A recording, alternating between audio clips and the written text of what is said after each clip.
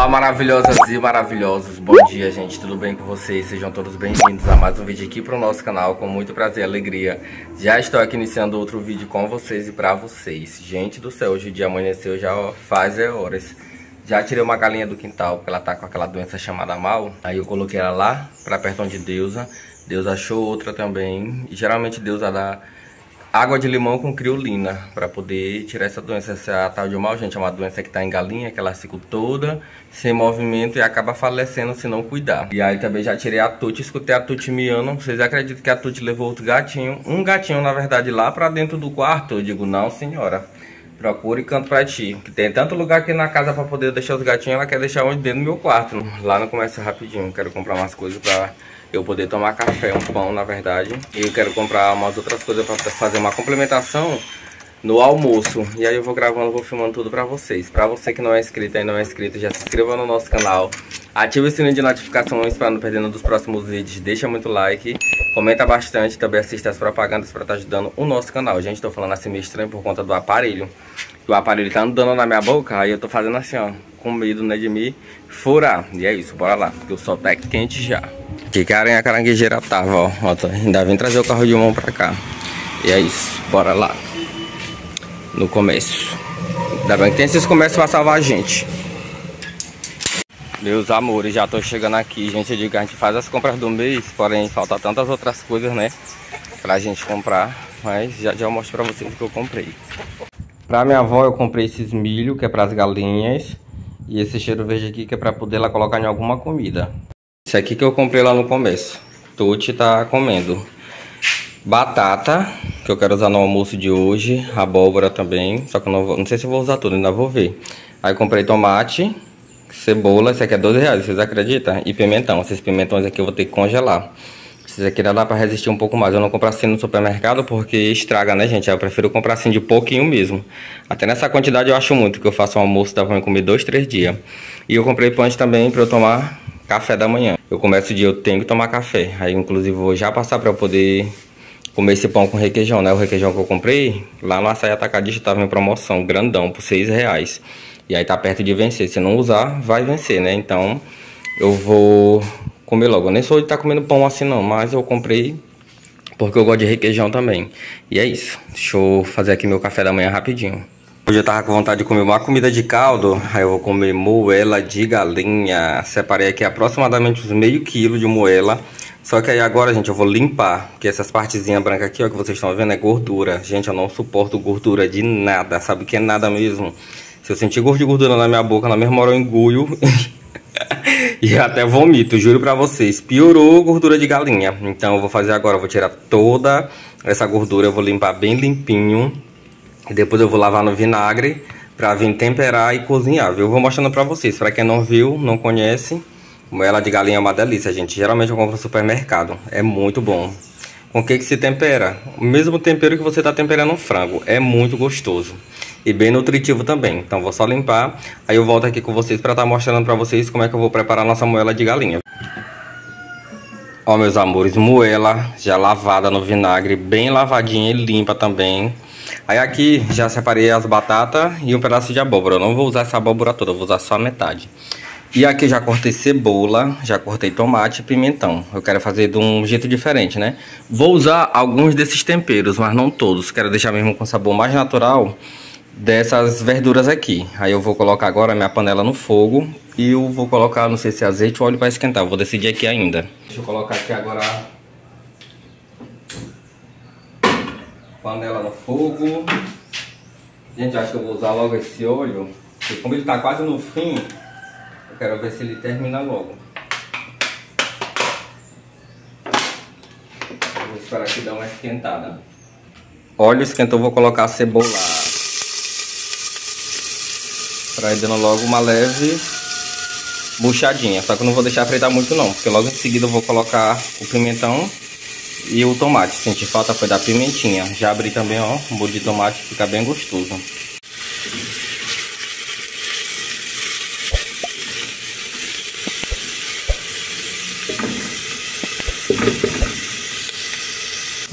Pimentão. Gente, eu senti falta aqui, sabe de que? Da pimentinha. Eu acabei esquecendo de comprar pimentinha. Na verdade, eu até olhei e não trouxe. Mas enfim, vai dar certo do mesmo jeito.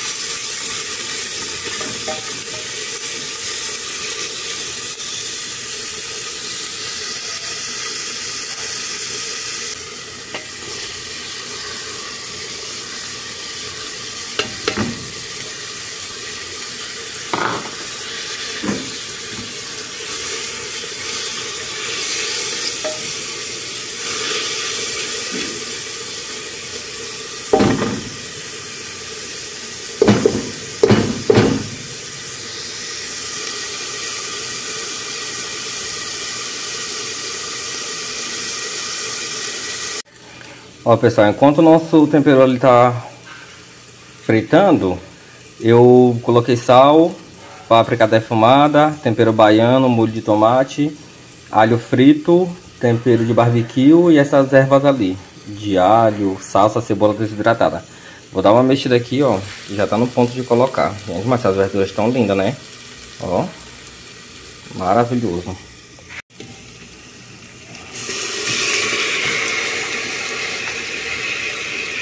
Colocar aqui nossas moelas, ó. Passar um pouquinho de água aqui pra gente colocar o resto do tempero, né, pra não estragar. Agora eu vou dar uma mexidinha aqui. E vou deixar, gente, nossa moela refogando. Pra o tempero pegar bem. Gente, mas bem temperadinho tá, ó. Que lindo. Muito bom. Agora eu vou só mesmo tampar. E aí vou aproveitar e vou logo cortar as batatas e a abóbora para deixar logo de molho. Vou fazer, colocar nessa mesma vasilha, eu vou só lavar e deixar aqui de molho, enquanto ela vai pegando uma fervura e uma pressão depois. Terminei de cortar as batatas e abóbora, todas lavadas e de molho.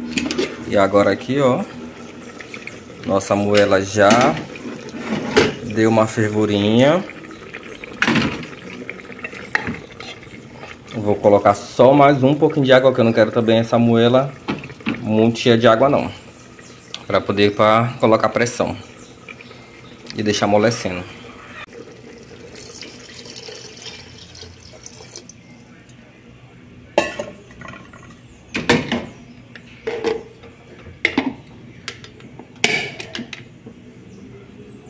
Vem por cá, Deus tá ali lavando uma roupinha nesse sol quente, que Maria, né?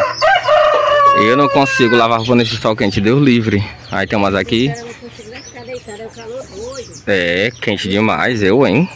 Gente, dá uma organizada nas plantas, ficou tão bonitinho. Essa daqui é linda. É.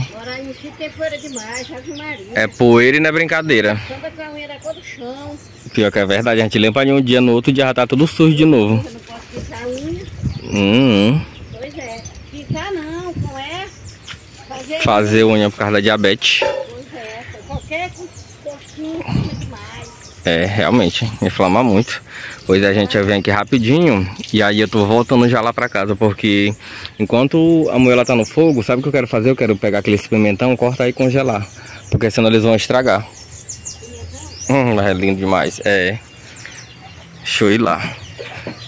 Nossa comida tá no fogo, aí eu peguei os pimentões, cortei, tirei aquela parte do meio branca e lavei. Aí eu vou cortar eles assim e vou cortar bem pequenininho para poder congelar. Vou colocar nesse depósitozinho. Porque se eu deixar na geladeira vai estragar. Vocês sabem que pimentão é coisa de estragar rápido. E aí eu vou cortando aqui tudo direitinho. Aí vocês vão aí me acompanhando também.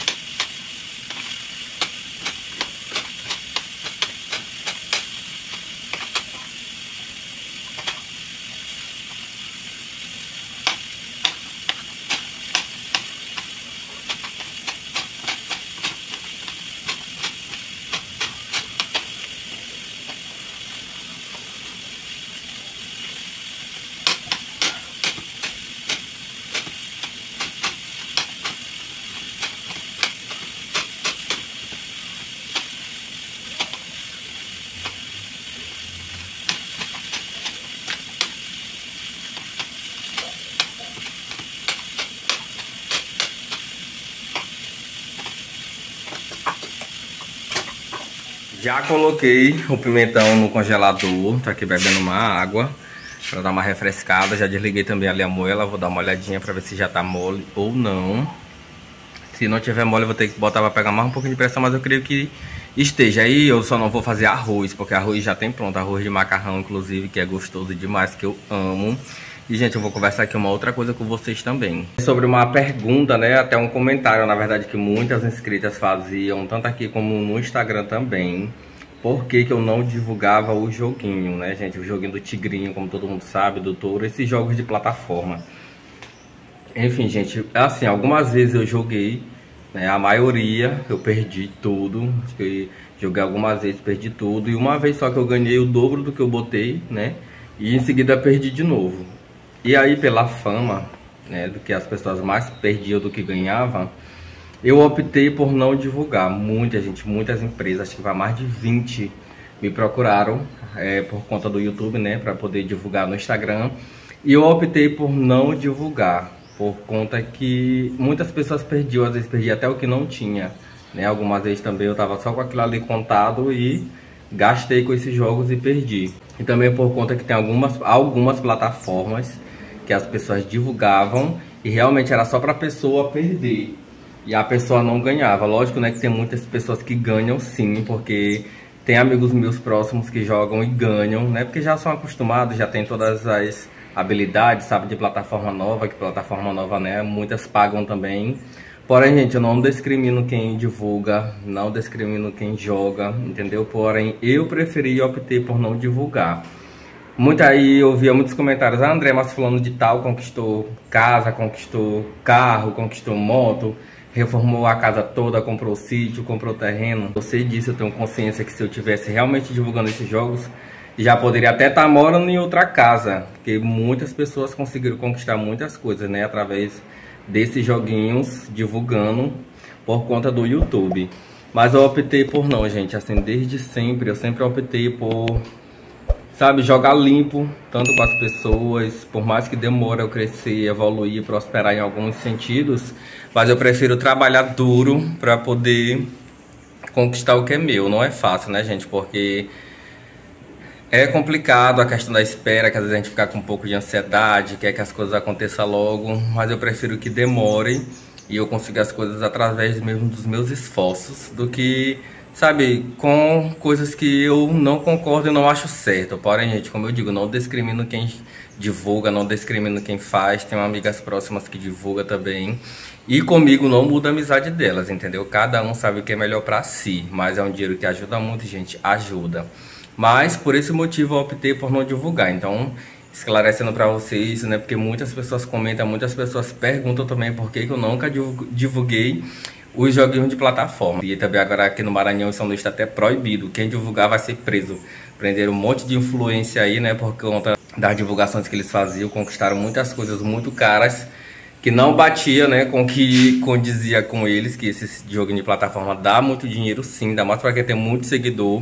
Então a polícia saiu prendendo tudo deles. E aí hoje em dia tá proibido aqui em São Luís do Maranhão e alguns outros estados também. Então, gente, nem dá para divulgar de jeito nenhum. E é isso, só esclarecendo essa dúvida para vocês. Gente, a moela já tá boa, tá bem molinha. Ficou até com bastante caldo, ó. Aí tá assim. E agora eu vou colocar as verduras. E aí, como eu tô colocando as verduras, as batatas, o jerimum, eu creio que vai ficar boa essa quantidade aqui de água. Que aí, tô dizendo que as moelas, elas diminuíram bastante. Mas enfim, tá bem bonito. Ó. Aí eu não vou deixar pegando pressão não, gente. Como batata e jerimum amolece rapidinho, eu vou só mesmo fechar assim, ó deixar amolecer por eles mesmos. Tá pronto aqui a moela de galinha, ó. Bastante batata e abóbora jerimum. E agora eu irei almoçar. O arroz de macarrão também já esquentei, já tá pronto. E é isso, gente. Bora almoçar agora. Essa iguaria. Ó, gente, ficou assim, meu arroz de macarrão, maravilhoso. E a nossa moela de galinha com batatas e abóbora, ó. Quem gosta sabe o tanto que é bom. Mas quem nunca provou, gente, vai achar uma coisa assim meio estranha, viu? E é isso. Agora eu vou almoçar. Ó. incrível. Tá com bastante caldo, só que o caldo tá bem grosso, não tá aquele caldo ralo. Separei aqui também suco de acerola e resolvi provar uma coisa que a inscrita deixou de dica para mim. Goiabada com requeijão. Nunca provei, deixa aqui nos comentários se vocês já provaram. Irei provar agora e vou dizer para vocês se é bom ou não, entendeu? E é isso, deixa eu tomar logo meu suquinho, aí eu vou provar agora essa iguaria também. Diferente, sempre eu só comia com creme de leite, mas vamos ver se é bom. Em relação à goiabada com requeijão, a única diferença que eu senti é porque o requeijão é um pouco mais salgadinho. E o creme de leite é, digamos que normal. Aí eu peguei essas folhas aqui de xanana, porque, gente, eu quero fazer um vasculhador. Pra poder tirar as teias de aranha que tem na casa da minha avó, né? A gente pega isso aqui, amarra elas, tipo assim, num... Algum talo, alguma coisa. Passa assim nas teias de aranha, porque lá tem muita, tá parecendo na casa do Conde Drácula. Aí eu quero tirar essas teias de aranha de lá. Aí eu vou tirar também dali, ó. Vou ver se eu tiro um pedaço de estalo ali. Pra poder servir de cabo. Aí eu vou deixar esse aqui lá. Aí já já eu volto pra me tirar um talo desse aí pra poder vasculhar a casa da minha avó.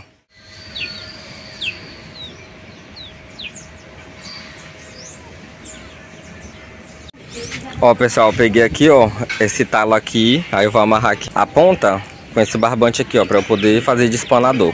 Vocês vão olhando aí e vão nos acompanhando também.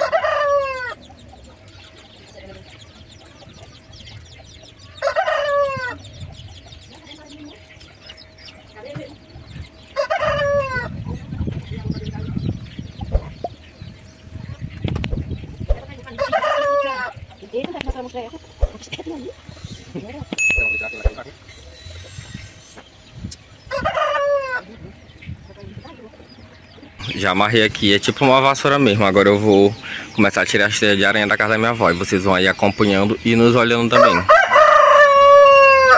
E olha a baciada de manga que eu encontrei por aqui, ó. Manga espada tão cheirosa. Pensa numa manga maravilhosa. Hum, vocês gostam? Manga espada é o nome dessa manga.